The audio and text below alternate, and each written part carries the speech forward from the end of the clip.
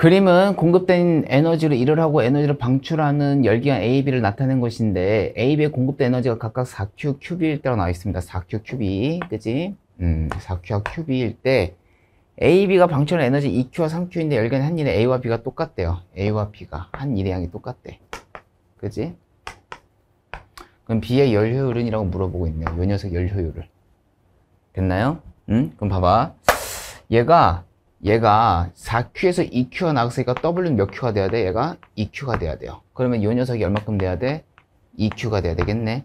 근데 요 녀석이 요 녀석이 합과 똑같아야 되니까 얘가 몇 Q가 돼야 돼요? 5Q가 되겠네. 뭐예요?